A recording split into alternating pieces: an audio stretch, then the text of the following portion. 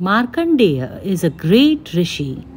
He was son of Rishi Mrikanda. Rishi Mrikand and his wife had done intense penance to please Lord Shiva.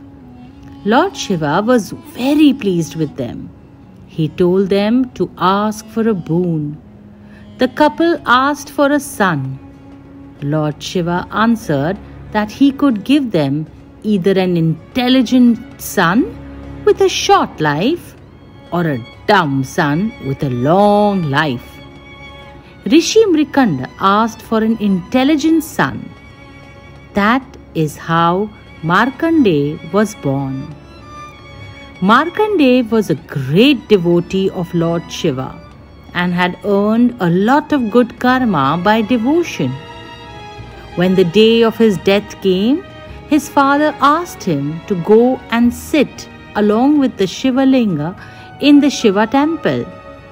When the Lord of Death, Yamraj, appeared with his noose to take away Markandeya, by mistake his noose fell on the Shivling. This greatly infuriated Lord Shiva and he appeared from the Shivaling. He stopped Yamraj from taking away Markandeya and also gave a boon of immortality to Markandeya. Markandeya has written Markandeya Puran, which is a very important text. Markandeya is also the author of Devi Saptasati, which is a collection of hymns that describes the war between the demons and Devi Durga.